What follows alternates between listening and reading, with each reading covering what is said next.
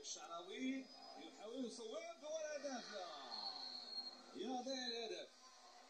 غير محظوظين اليوم في هذا الهدف هشام السر صفر أو السر واحد شوف الطريقة كيفاش لعبت الكره هذه وقت مستقطع كنضرب المنتخب الأنغولي من بعد 10 ديال الدقائق فالكره كتضرب في القائم فالكره تصرفت فيها شيء عادي ربما حنا كمدربين فما كتزعجناش شي علما المنتخب الأنغولي نستدعو. Não sofrer gols e sempre vamos às transições tentar arriscar, jogar o nosso futsal. E não façam falta. Tentem jogar, deixem-nos andar. Nem que a gente defenda mais baixo à zona, mais aqui, mas deixem-nos andar. Vão na circulação, não vamos com eles, deixamos andar. Já vimos outros clientes. Eles têm uma excelente equipa, não precisam disto.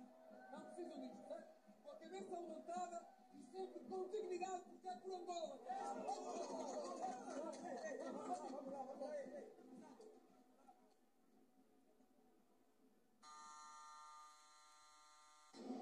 الوقت المستقطع اللي طلبوا المدرب الانغولي فهو كان ذكي شيئا ما أكثر ما هو كان على الجانب الذهني فهو طلب من اللاعبين ديالو بأنهم ينهيوا المقابلة بواحد ديغنيداد باش بأنهم ما يتلقاوش أهداف أخرى انهم يحافظوا على السمعة ديالهم وكذلك السمعة ديال المنتخب الأنغولي ما يتلقاوش ولكن مع ذلك بأنهم يحاولوا يمشيو يهاجموا باش يسجلوا. فهنا كيتبين لك بأن المنتخب الأنغولي فهو خايف أنه يتلقى أهداف أخرى ضد المنتخب المغربي. Шварцман